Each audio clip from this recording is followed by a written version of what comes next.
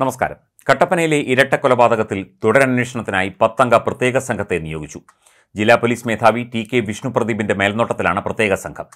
Ernakulam range D I G Putta വിമലാദിത്യയാണ് ഇക്കാര്യം അറിയിച്ചത്. അതേസമയം കേസിൽ പ്രധാന പ്രതി നിതീഷ് കൊല്ലപ്പെട്ട വിജയന്റെ ഭാര്യ സുമ എന്നിവരെ ഇന്നലെ രാത്രി വൈകിയും ചോദ്യം ചെയ്തിരുന്നു. മോഷണ ശ്രമത്തിനിടെ കാലൊടിഞ്ഞ കോട്ടയം മെഡിക്കൽ കോളേജിൽ ജുഡീഷ്യൽ കസ്റ്റഡിയിൽ കഴിയുന്ന വിഷ്ണുവിനെ കൂടി ചോദ്യം ചെയ്താലേ കേസിലെ കൂടുതൽ വ്യക്തതകൾ പുറത്തുവരൂ. കട്ടപ്പന ഇരട്ടക്കൊലപാതക കേസിൽ Ernakulam range D I G Putta Vimaladitya പ്രതി നിതീഷിനെ ചോദ്യം ചെയ്തിരുന്നു. നവജാത ശിശുവിനെ കൊലപ്പെടുത്തി കുഴിച്ചുമൂടിയ സാഗര ജംഗ്ഷനിലെ വീടും വിജയനെ കൊലപ്പെടുത്തിയ കക്കാട്ടുകടയിലെ വീടും ഡി ഐ ജിയും സംഘവും പരിശോധിച്ച ശേഷമാണ് മടങ്ങിയത്. കക്കാട്ടുകടയിലെ വീട്ടിലെത്തിയ ഡി ഐ ജി വിജയന്റേത് എന്ന് കരുതുന്ന മൃതദേഹം കുഴിച്ചിട്ട മുറി ഉൾപ്പെടെ പരിശോധിച്ചു. തുടർന്നാണ് എട്ടു വർഷങ്ങൾക്ക് മുൻപ് വിജയന്റെ മകൾക്ക് ഉണ്ടായ കുഞ്ഞിനെ കൊലപ്പെടുത്തിയ സാഗര ജംഗ്ഷനിലെ വീട്ടിലും ഡി ഐ ജി എത്തിയത്.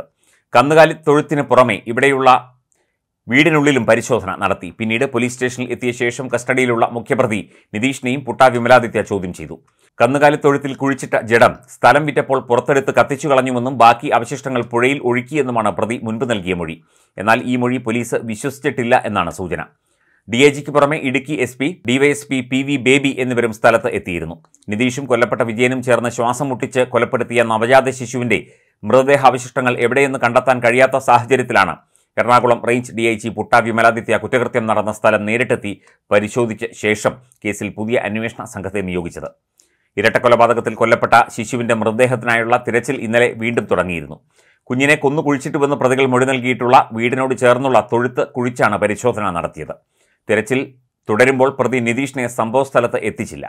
കുട്ടിയെ മറവ് ചെയ്തത് ഇവിടെ തന്നെയാണെന്ന് ആദ്യത്തെ മൊഴി പ്രതി നിതീഷ് മാറ്റിയിരുന്നു. പിന്നീട് വീണ്ടും നിതീഷിനെയും കൂട്ടുപ്രതി വിഷ്ണുവിനെയും പോലീസ് വിശദമായി ചോദ്യം ചെയ്തിരുന്നു. ഇതിനുശേഷമാണ് തിരച്ചിൽ ആരംഭിച്ചത്. ചോദ്യം ചെയ്യലും സമാന്തരമായി തുടരുന്നുണ്ട് എന്നാണ് സൂചന.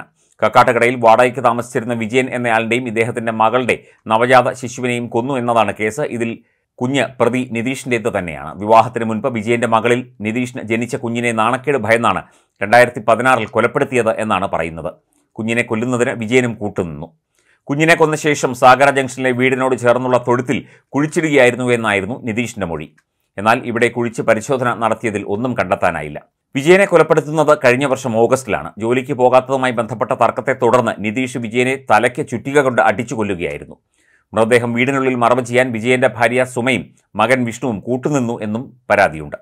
വിജയന്റേത് എന്ന് കരുതുന്ന മൃതദേഹാവശിഷ്ടങ്ങൾ വീടിനുള്ളിൽ നിന്ന് കണ്ടെത്തിയിട്ടുണ്ട്. ഇത് ഇയാളുടേത് തന്നെയാണോ എന്നുറപ്പിക്കാൻ ശാസ്ത്രീയ പരിശോധനയ്ക്ക് അയച്ചു. മറ്റൊരു കേസുമായി ബന്ധപ്പെട്ട് പിടിയിലായതാണ് നിതീഷും വിഷ്ണുവും. ഇതിന് പിന്നാലെയാണ് ഇരട്ടക്കൊലപാതകത്തിന്റെ ചുരുൾ അഴിഞ്ഞത്. കക്കാട്ടുകടയിലെ വാടക വീട്ടിലെ മുറിയുടെ തറ കുഴിച്ച് പരിശോധന നടത്തിയതിലാണ് വിജയന്റെ മൃതദേഹാവശിഷ്ടങ്ങൾ കിട്ടിയത്. തലയോട്ടിയും അസ്ഥികളുമാണ് കണ്ടെത്തിയത്. പാൻസ് ഷർട്ട് ബെൽറ്റ് എന്നിവയുടെ ഭാഗങ്ങളും കണ്ടെത്തിയിട്ടുണ്ട്. വിജയനെ കൊന്ന് മുറിക്കുള്ളിൽ കുഴിച്ചിട്ടു എന്നാണ് പ്രതിയുടെ മൊഴി. വിജയനെ കൊലപ്പെടുത്താൻ ഉപയോഗിച്ച ചുറ്റികയും നേരത്തെ കണ്ടെത്തിയിരുന്നു.